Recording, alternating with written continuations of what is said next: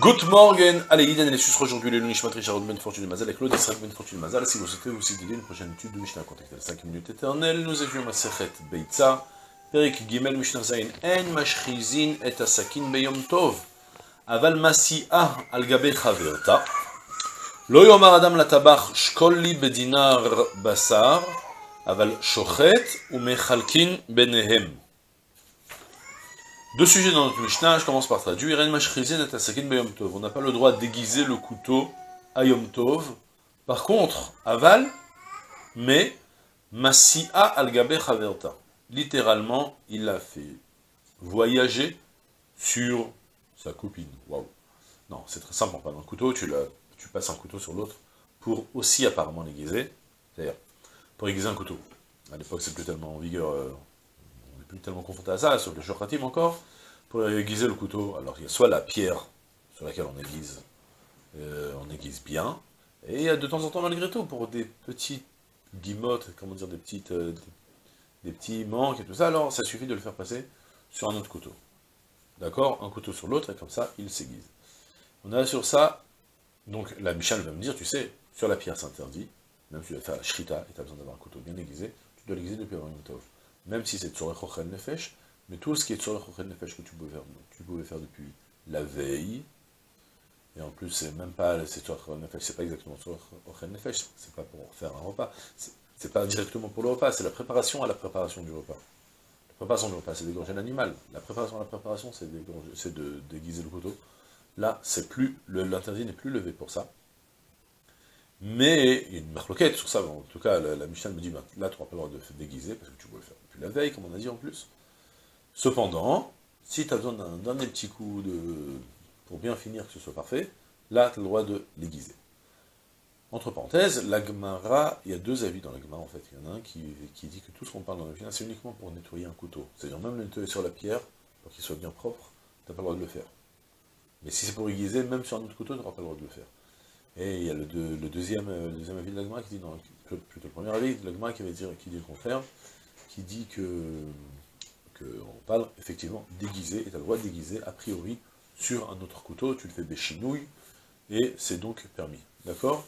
Comme ça d'ailleurs le Barthénora le dit, puisque c'est l'avis qui retient, puisqu'il nous dit que des méchanes et des dès que tu fais avec chinouille, c'est permis. Toute melacha qu'on fait de manière atypique, pas dans la, de la manière conventionnelle, alors c'est bien, il n'y a plus d'interdit de la Torah, et là, en l'occurrence, l'interdit est le fait. Ça, c'est pour la première partie de la Mishnah. Deuxième partie de la Mishnah, je traduis d'abord, le Yomar Adam la tabach. Un homme ne dira pas au tabach, au boucher, ou à celui qui fait la shrita plutôt. Shkol li bedinar basar. Non, le tabach, c'est vraiment celui qui travaille à la boucherie. Shkol li bedinar basar. Donne-moi un poids d'une valeur pour un dinar de viande mais le tabar pourra faire la shrita et partager entre eux. Soit, la Mishnah, en fait, elle me dit, à l'époque, ouais, il n'y avait pas les frigos, il n'y avait pas les congélateurs, donc il fallait de la fraîche, comme on a déjà dit. À Yom c'était très fréquent de faire la shrita. Il y avait bien sûr des gens qui étaient plus centrales de, distribution de viande, en l'occurrence. Les bouchers, même à Tov, il ne travaillait pas en ouvrant le magasin, mais il faisait une shrita chez lui dans sa cour, et puis il donnait à quelques voisins une petite part, et ils venaient le payer après Yom Tov, entre voisins, on se fait confiance. Maintenant, la Mishnah me dit, ben tu sais, même si tu vas aller en prendre, tu vas pas lui dire, moi j'ai acheté pour, euh, j'ai mis 100 euh, shekels, et l'autre j'ai mis 200 shekels. Non, on parle pas, on dit, on mentionne pas le prix, on mentionne juste que tu fais une estimation, tu as pris euh, un morceau, un quart, un tiers, un demi, une demi-morceau de, part.